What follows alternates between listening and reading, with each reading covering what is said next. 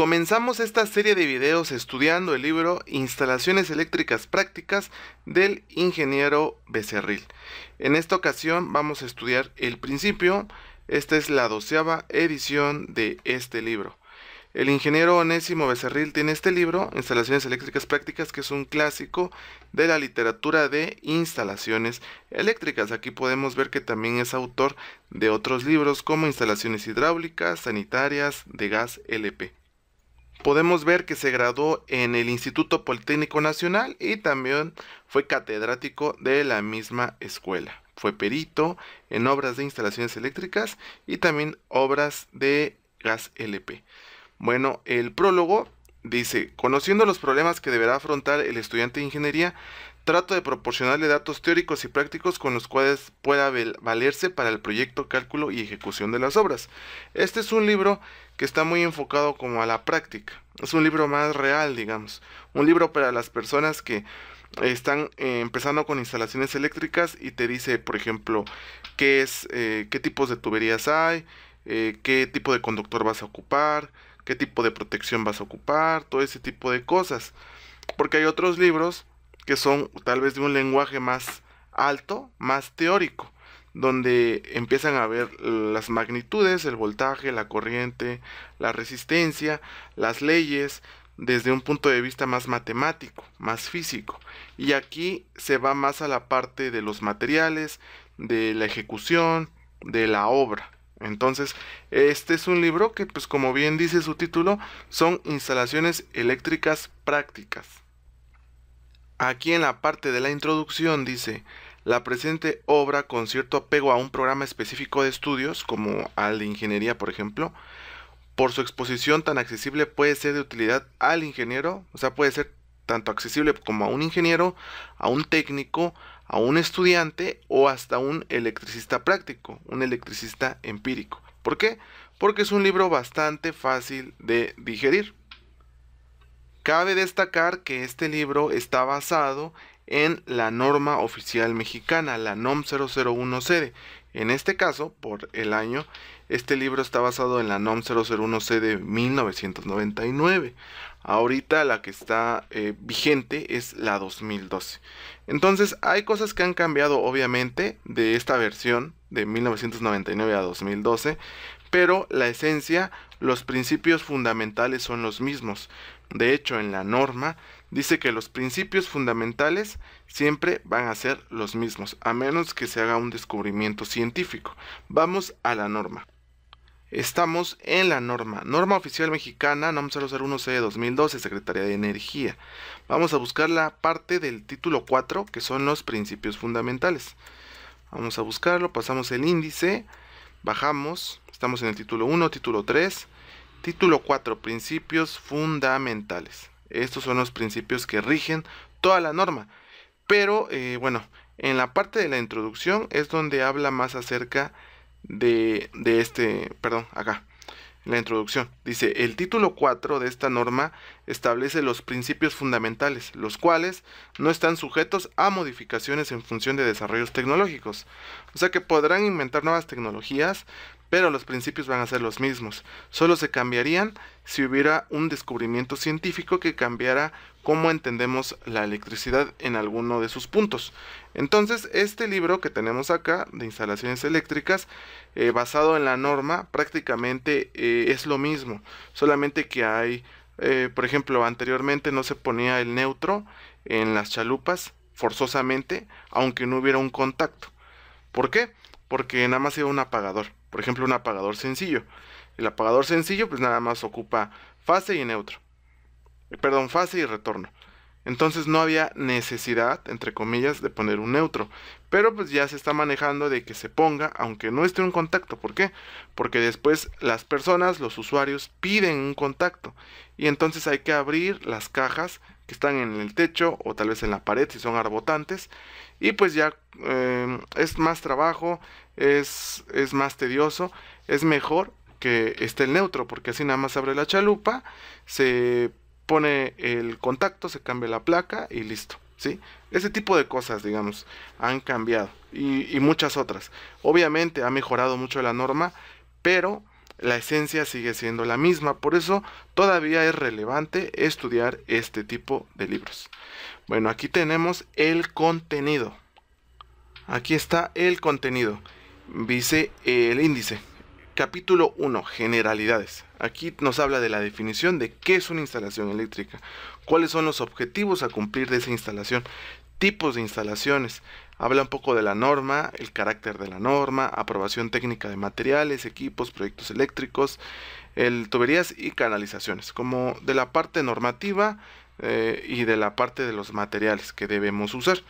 Eh, la parte 2 son circuitos fundamentales. Aquí me gusta de que pone primero el capítulo 1 cosas más reales, más técnicas, y en el capítulo 2 habla más sobre la teoría.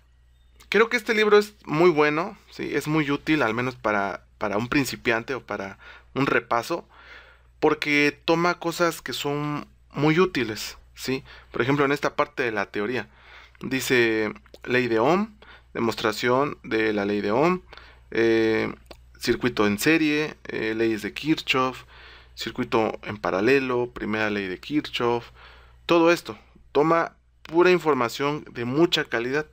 si No mete, por ejemplo, ley de Lenz, ley de Faraday, que es más para la generación de energía eléctrica. Que si este fuera un libro de motores, entonces yo creo que sí sería sumamente necesario, fundamental, ley de Faraday, ley de Lenz. Pero como estamos hablando de instalaciones eléctricas y no estamos viendo mm, pues el funcionamiento fundamental de un motor, por eso no lo toma aquí. Hay un apartado de motores y creo que ahí lo menciona. Símbolos eléctricos, el capítulo 3. ¿Qué símbolos se usan en apagadores, en contactos? Te da hasta marcas y capacidades de los apagadores. Es un libro bastante, bastante eh, técnico, bastante práctico. El 4 son diagramas de conexión, de lámparas, de apagadores, de contactos, lo básico. Apagadores de dos vías, de tres vías y de cuatro vías. ¿sí? Tanto te pone como el diagrama como la vista en planta, ¿sí? el plano. Y te pone la vista isométrica. Es un muy, muy buen libro para empezar a aprender instalaciones eléctricas. Protección contra sobrecorriente. Aquí te habla acerca de los fusibles y de los interruptores automáticos los tipos, los usos que tiene.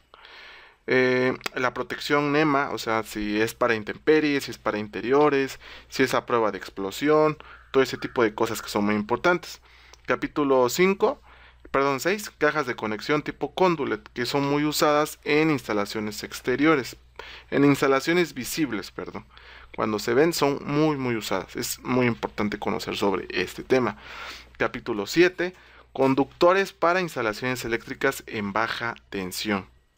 Toca un tema clave, un tema que es el alma de la instalación eléctrica, que es el conductor eléctrico, porque es el que hace posible la circulación de energía eléctrica, es el que hace posible la circulación de la corriente. Entonces es importante que escogemos, escojamos bien nuestros conductores, porque si no los escogemos bien, lo más probable es que se quemen, que se maltraten, que haya un corto, que haya una fuga de corriente, que haya un falso contacto, infinidad de problemas que nos va a dar. Entonces aquí hace hincapié sobre los mejores conductores eléctricos, sus características, la equivalencia que tiene los milímetros cuadrados a circular 1000, tipo de aislamiento, el factor de corrección, de temperatura, agrupamiento, que es ajuste y, y, este, y corrección esos son los nombres correctos que vienen en la norma. Diámetros y áreas de los, de los tubos, todo eso es importante. El capítulo 8, cálculo de los conductores. ¿sí? Eh, para empezar en el 7 te habla acerca de cómo son, de qué aislantes son, de qué tamaños, todo ese tipo de cosas. Y en el capítulo 8 ya te habla acerca de cómo calcular tu conductor. ¿sí? Te enseña las fórmulas para sistemas a una fase, a dos fases, a tres fases, con o sin neutro. Y te enseña a aplicar los factores de temperatura y de ajuste. Y también cómo calcular tu tubería.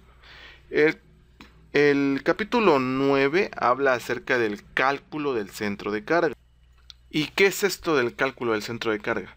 Aquí dice cálculo de los conductores por corriente y por caída de tensión. Te habla de que debes de validarlo por estas dos como mínimo por el sistema exacto y por el sistema aproximado.